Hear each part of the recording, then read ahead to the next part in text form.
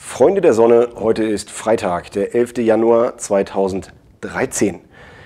Diese Woche habe ich was rausgekriegt, das hat sich noch nicht rumgesprochen, aber ich bin mir sicher, die Deutsche Bahn hat den gleichen Planer wie der Großflughafen Berlin-Schönefeld, also Willy Brandt. Warum bin ich darauf gekommen?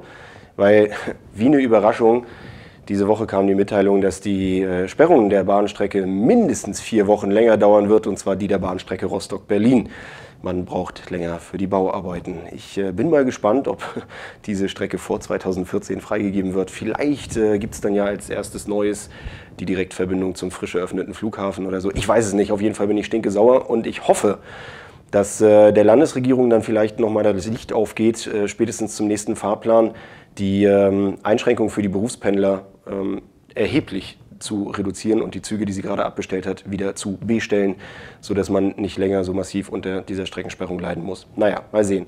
Äh, große Freude diese Woche bei Angela Merkel. Warum? Weil die SPD einfach äh, sehr nett war mit Per Steinbrück und Per Steinbrück sehr nett zu Angela Merkel ist. Äh, ich weiß nicht, ob es irgendwem aufgefallen ist, aber die Frau macht zurzeit gar nichts, außer die Klappe zu halten. Und mehr muss sie auch nicht machen, weil Steinbrück erledigt das ja allein. Wie kann man als Sozialdemokrat so dermaßen äh, gierig agieren und äh, nach mehr Kohle schreien. Baschkel hat das diese Woche in seinem Blog äh, sehr gut dargestellt. Der hat richtig Angst gehabt, dass Steinbrück äh, verarmt, wenn er Kanzler wird, weil er dann ganze äh, Aufsichtsrattätigkeiten und so weiter nicht mehr machen kann und auf etwa 18 Prozent seines jetzigen Einkommens abstürzen würde. Aber naja, kann uns aber eigentlich auch egal sein, weil Linke wählen ist ja im September sowieso die Devise und äh, das macht dann auch mehr Sinn.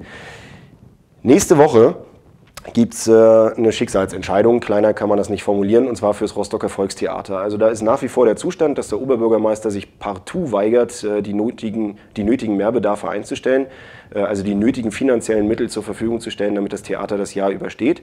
Und ähm, wenn das nicht passiert und es nicht irgendeine Klärung gibt, äh, dann wird das äh, Volkstheater nächste Woche wohl Insolvenz anmelden müssen. Ich hoffe, dass das nicht passiert, sondern dass alle Beteiligten sich irgendwie besinnen.